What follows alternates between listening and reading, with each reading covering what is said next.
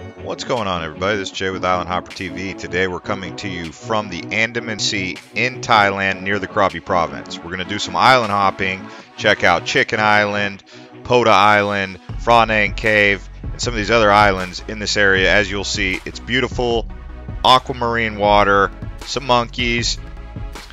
Island hopping in Thailand is one of the main attractions and things that you will look to do when you visit Thailand.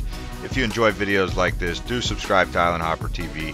Check us out on Instagram. Sit back, relax, and enjoy this virtual tour from around the Andaman Sea near Krabi and Phuket, Thailand.